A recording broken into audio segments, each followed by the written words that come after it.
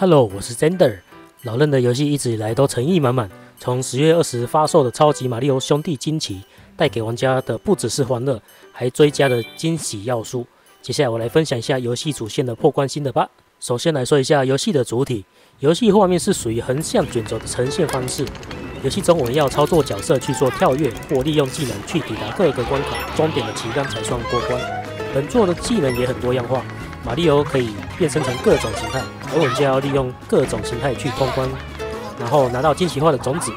收集到一定数量的惊奇花种子之后呢，可以解锁下个关卡继续前进。游戏中也有小商店可以购买惊奇花种子，还有技能可以辅助玩家更快、更顺利的通关。马里奥游戏最传统的就是横向卷轴的方式呈现，所以对于后期才加入的新生代玩家们会比较陌生一点。毕竟后座出来的马里奥赛车和马里奥奥德赛是年轻人最优先接触的，而且会有留下深刻的印象。所以在早期横向卷轴的游戏操作方式呢，可能对于没玩过这系列的人会比较不熟悉一点。对于初入门的玩家来说，就很容易会去狙哦，然后就是可能会玩到半路上就被怪摸到，或者掉到坑洞。所以这部诶这部分还是需要一些时间来适应一下，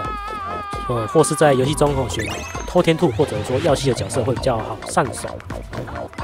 另外，马里奥系列的关卡设计绝对不单纯，它会有很多的隐藏通道、隐藏机关，所以在玩这系列游戏的时候就要多留意一下环境。要收集全金币或者说全荆棘种子的话，有时候也要重复探索这些关卡才会难到哟。我在主线速通破关的话，大概是七到八个小时左右，中途有稍微的卡关死了十几次，然后有一些关卡，哎，其实都还没开起来，很多关卡都还没开起来。那后续的二周目，我再通关这些所有的关卡，收集全要素。本作最惊喜的地方就是角色的变身形态，还有惊奇花的出现。它的变身形态就像是可以变成大象，清除在路上的障碍，也可以打击路上的小怪。OK，还可以变成那个砖头，可以从天花板前进，或者说钻到地底下，可以躲避敌人的伤害，进到一般不可能通过的地形。变成泡泡人的时候，可以吹泡泡，启用在墙后的机关。哦，它其实有有点像以前我们在玩的泡泡人，差不多了。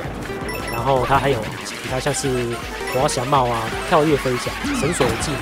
各种搭配的技能去闯关，哈，就是让这个游戏的方式可以更丰富许多的一些原因，这样子。在游戏的关卡设计，每关都有自己的主题特色，像是在食人花关卡有满满跑出来的食人花，不仅是从管子探出头来，还会四处的走动，呼吸新鲜空气。幽灵关卡会跑出来捣蛋的害羞幽灵，哦，但你面背对着它的时候啊，它就会靠近；面对它的时候，它就会遮脸害羞。然后龙岩关卡不只有放火的小怪，还有许多难以通过的龙岩地形，考验玩家的操作。关卡的设计上也有很多的暗门需要探索解谜，因为在本作加入惊奇后的关系，大部分的关卡会把那个现实把它拿掉，啊，但还是有一些关卡会有现实的一些 speed run 的设计，那这部分就会让玩家更有时间会在关卡中探索一些隐藏的那个机关哦，还有要素，然后碰到惊奇花之后啊，会整体关卡会再更丰富，哦，会再向上更一层楼，不仅地形改变，有时候连游戏的方式也会跟着改变。虽然整体的关卡比起以往的马里奥系列来说啊，哦，真的短很多，但是本作的关卡设计上真的相当有趣，不会很无聊。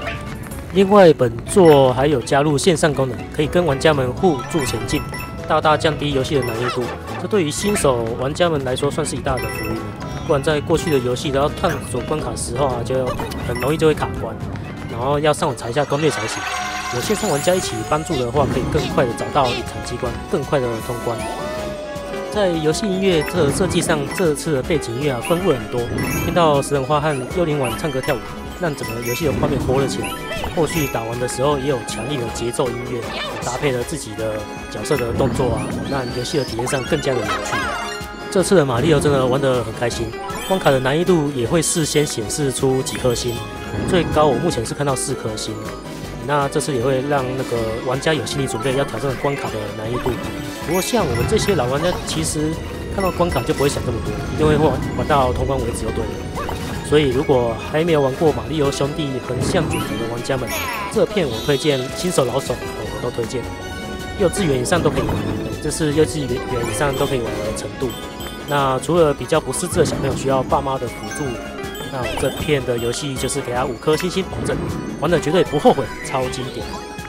以上是我的游戏主线破关分享，若有其他游戏心得，也欢迎在底下留言。后续我会在不定时的发布游戏破关的心得。喜欢我的频道，欢迎各位可以订阅追踪。我是 Dander，祝各位游戏愉快，再见。